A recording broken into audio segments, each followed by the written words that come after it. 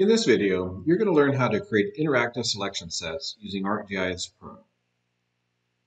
The tools that you're going to use for interactive selection will be found on your Map tab. On the Map tab, under the Selection grouping, you'll see several tools here.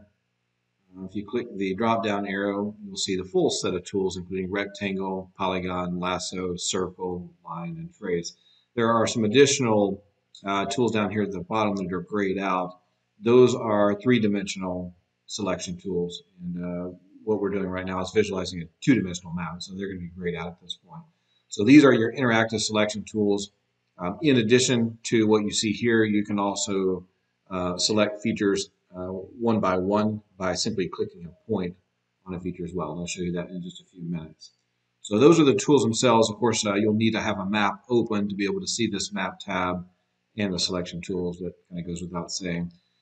Um, so the first thing you want to do uh, to create a selection set is to go to your contents pane. On the contents pane, there's a list by selection button. And if you click that, what it'll do is it'll present you with a list of all the layers that have been added to the currently active map. So my active map right now is City of New Braunfels, and these are the layers that are associated with that map all you're going to do here is simply click the check boxes next to the layers that you want to make selectable. And all you're doing here is you're marking a layer for the ability to create a selection set. So for this particular example, uh, the only layer that I have marked is city parcel. So because that's the only layer that's been marked as selectable, it will not be possible at this time to create a selection set on any of the other layers. So you have full control over this, uh, over what layers are going to be selectable at any given time. So from there, um, again, we'll use our interactive selection tools. The first interactive selection tool we'll show you is just simply clicking a point on the map. So by clicking a point on the map, and all you're doing here is just sim simply clicking any individual feature. So we're focusing in here, in here on city parcels at this point. So if I simply click on a parcel, you'll notice that it creates a selected feature. Um, and the number of selected features will show up in your contents pane under list by selection out to the right hand side of your layer, you'll always have an indicator as to how many features are currently selected, right? Which right now is just one. Right, so that's using a point to interactively select a feature. Now, if you hold your shift key down, you can interactively select additional features just by clicking.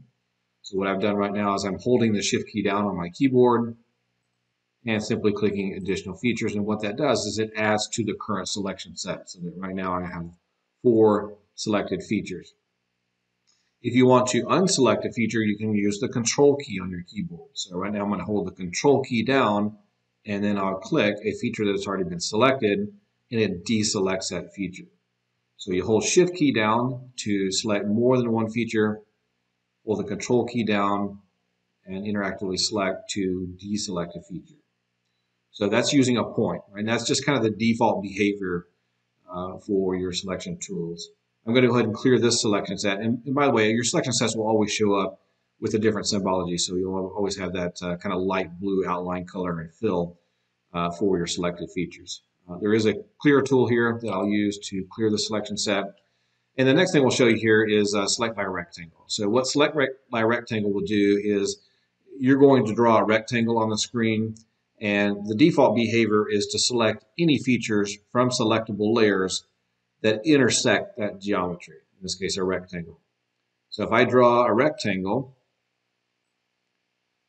uh, what's going to happen is when I release the drawing of the rectangle, when I release this with my mouse, any of the parcels that intersect that rectangle will become part of the selection set. And by, by intersect, we mean any features or any parcels in this case that touch the rectangle or are completely within the rectangle. So if I release the rectangle at this point, this is the result I'll get. Again, all we're doing here is just drawing a rectangle. Any features that either touch the boundaries of that rectangle or are completely within that rectangle become part of the selection set.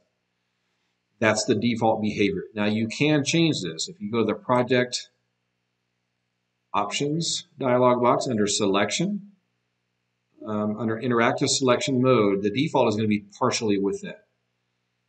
The other option here is wholly within. So if we select wholly within, okay that and go back to your map. Now when you draw a rectangle, in order for a, a feature to become part of the selection set, it has to be completely within that rectangle. So in other words, if a parcel simply touches the boundaries of that rectangle, it will not be included in the selection set. Only the parcels that are completely within this rectangle become part of the selection set. So you kind of see the result of that. So it, it restricts what gets selected a bit more. Um, again, that's on the project options dialog box, and I'm going to change it back to partially within because that's the default. Uh, now the other tools work the same. So if I work, you know, they work the same way. So if you select, for example, polygon, all you're doing here is you're clicking vertices or points to define a polygon, and any features that either touch or completely within become part of the, the selection set. So these all work, you know, pretty much the same way. Again, there's your list of number of selected records. Uh, if you use the rectangle or polygon or any of the other tools, you still have access to the control keys and the shift keys. So again, let me just kind of show you how this works. So if I go to rectangle, draw a rectangle, I get my initial selection set, but if I hold the shift key down, which is what I'm going to do now, and draw another rectangle, then we add to the current selection set. And if you hit control, hold down the control key, draw a rectangle, then it deselects from your current selection set. So all these tools, again, work pretty much the same way. Right? All you're doing is you know, drawing in some type of geometry to create your selection set. Now, once you've got your selection set, um, there, you know, there are different things you can do, right? It, you're, you're rarely creating a selection set as the end result. Right? A selection set is usually just part of a larger geoprocessing workflow. So, you know, you're typically doing something with this selection set, right? You're either doing some analysis on those selected features, you're exporting the records, um, you know, th those are, are, typical types of things that you might want to do. Um, so a very common type of thing to do would be to export your selected features to a new layer.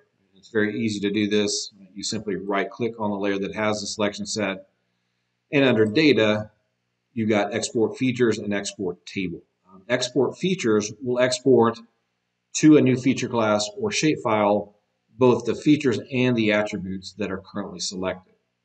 If you select export table, what it will do is export only the tabular information from your selected record. So it won't export any of the feature geometry associated with that.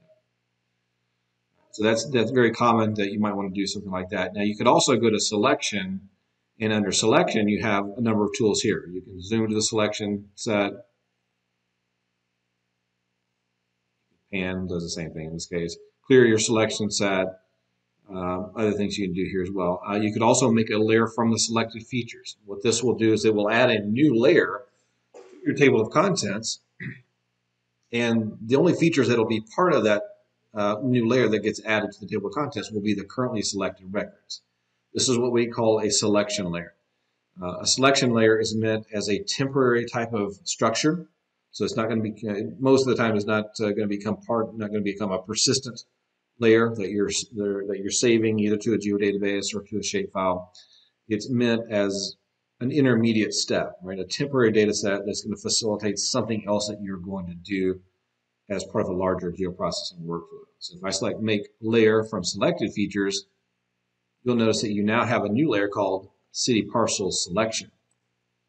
And if I turn all these other things off, you can see now I still have those selected features as a new layer, in this case called city parcel selection. But it, this is not meant to be a permanent layer that you're saving out, right? It's meant to facilitate some larger workflow where you're going to then take that selected set of records and do some analysis or you know maybe export it in some other other manner. Usually you're going to do, be doing some type of analysis um, on that selected layer. Now you could make this a permanent uh, layer by right clicking and selecting data export features but the intent of a selection layer is, is a very temporary type, of thing. So typically you simply remove that and then the layer goes away. And you still have access to all the, uh, the regular information there. Uh, now you might also want to view the attributes of your selected records and you can do that uh, by a couple of different ways, right? You could right click the layer that has selected features and then open the attribute table. What that'll do is take you into table view mode and uh, Again, down at the bottom of your table view mode, you can see how many records are currently selected. Uh, you can switch over to showing only the selected records so that what you're seeing now in your table view are only the selected records that are currently in the map. You can also get to the attribute information uh, in a little bit different manner by going to the attributes button. What that'll do is bring up the attribute pane. This is typically used for, um, for editing, so for situations where you're wanting to create a selection set for the purpose of editing the attributes of those selected records, you would typically use this attributes pane. And so what you're seeing here is a listing of all the features that are currently selected. And you can see when I click on these, it highlights them briefly in the map. And so a typical workflow here would be that you're wanting to update the attributes of these features. Right? So if you're wanting to, for example, update the ownership information, you just simply come down here, double click on it, and then type in some new value to update the records. So typically you'd use that attribute pane to update the attributes uh, for one or more features. So, so again, you're creating selection sets with uh, not as an end goal, but as part of a larger workflow where you're going to be editing selected features or exporting out the selected features to a new data set, or you're going to be doing some type of analysis on that selection set. And that's about it. Um, I'm going to discard that. So uh, just to just a kind of a quick recap, what we've shown you in uh, this video is how to use the interactive selection tools. Uh, in future demonstrations, we'll be going through some of the additional tools like select by attributes and select by location, which are alternative ways of creating selection sets uh, for more complex type scenarios. That's it for this.